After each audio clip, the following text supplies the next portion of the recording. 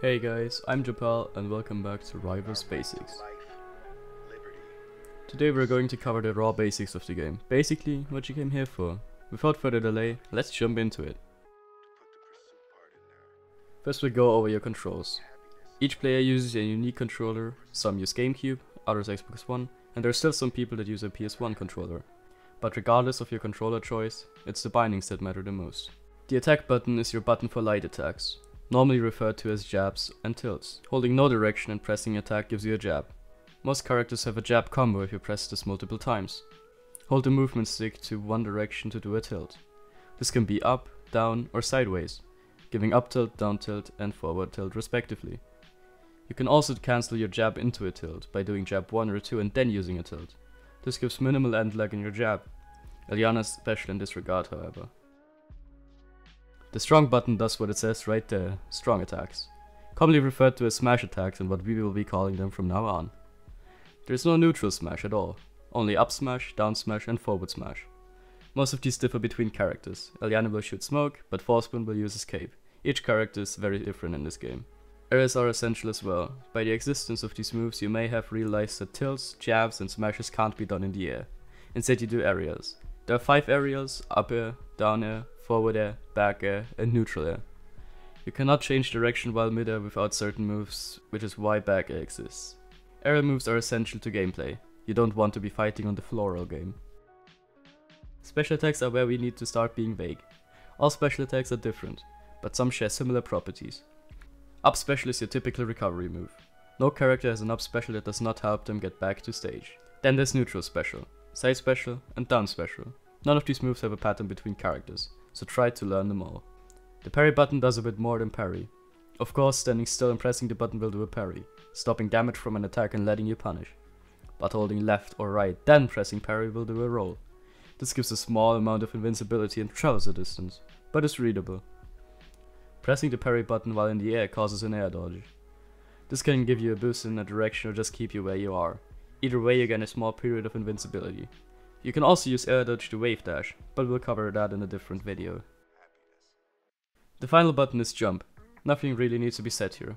Press the button to jump, press it in the air for a second jump. The only fancy things are Wrastor's multiple jumps, Absa's double jump properties and Elliana's hover, but those aren't important right now.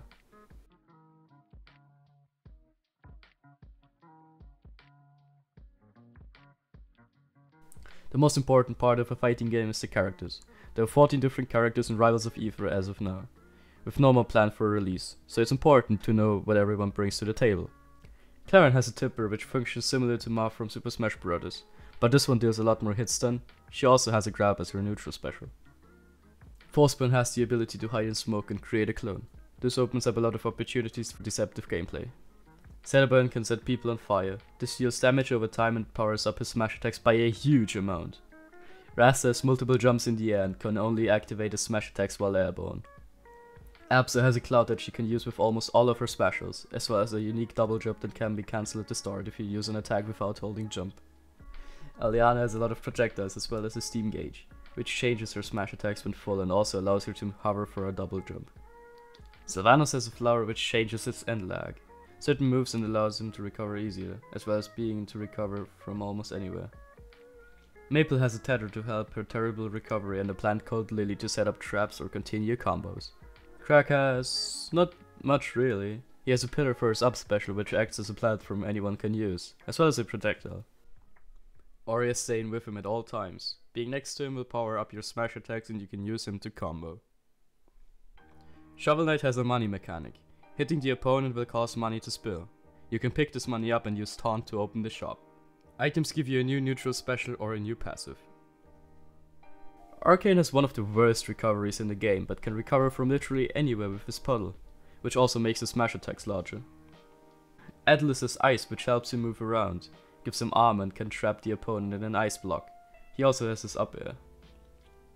Finally, Ranno, he has a poison mechanic which deals 1% every time your opponent uses a move, as well as a tongue to sling himself with. Hey guys, thanks for watching this week's video of Rivals Basics. If you liked the video please consider to give us a thumbs up and to subscribe to the channel. If you have any feedback as to what we can do better, please leave it in the comments down below. I'll see you guys next week. Bye.